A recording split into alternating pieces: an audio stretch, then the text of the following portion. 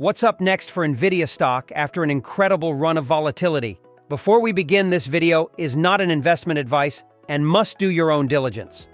However, with my experience investing for years, the content from this video has a solid research foundation. Check our Patreon on the description below for an inside members-only access on what are the best buys now.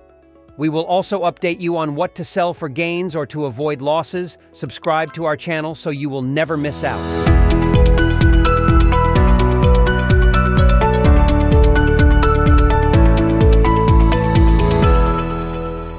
Volatility continued for NVIDIA, NVDA negative 6.67% stock in Thursday's trading.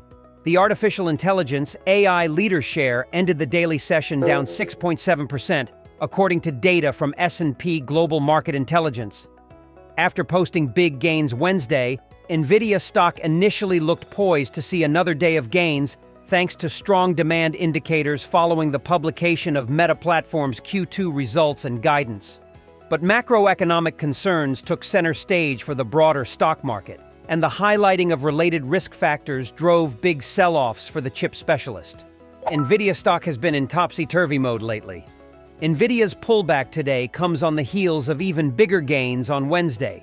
Microsoft issued encouraging capital expenditures and AI investment guidance with its recent quarterly report. Advanced Micro Devices also published Q2 results that showed demand for data center processors was high.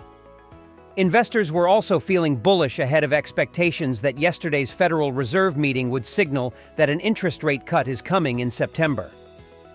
In response, NVIDIA's market capitalization increased $330 billion on Wednesday, the biggest ever daily gain for a company. The rally almost looked poised to continue Thursday. Encouraging capex guidance and commentary from Meta Platforms gave NVIDIA stock a boost in pre-market and early daily trading, but the gains faded as an uptick in bearish sentiment for the overall stock market took hold. While the Fed's July meeting signaled that the much-anticipated interest rate cut will likely arrive next month, some economists are seeing increased risk of recession due to a recent increase in jobless claims and other factors. The S&P 500, Nasdaq Composite, and Dow Jones indexes fell roughly 1.4%, 2.3, and 1.2% respectively.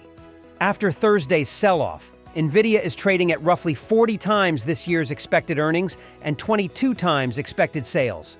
Notably, the company's price-to-earnings ratio is less than two times the company's price-to-sales ratio, which reflects the stellar profit margins the business has been serving up lately. But it's still a high-risk, high-reward stock. Aided by ongoing demand for AI technologies, NVIDIA will likely continue to post strong sales and earnings growth for the rest of the year and in 2025 but the outlook is a bit murkier further out.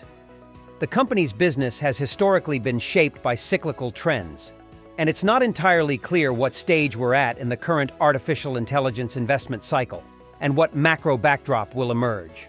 On the other hand, the long-term outlook for AI-related hardware and services demand remains incredibly promising. If you're looking to build positions in artificial intelligence and are willing to embrace near-term volatility, Taking advantage of pullbacks in NVIDIA could be worthwhile. Give us a like if you like our video, subscribe and ring the bell to never miss out. Check our Patreon for an inside look on what are the best buy and sell stocks every week.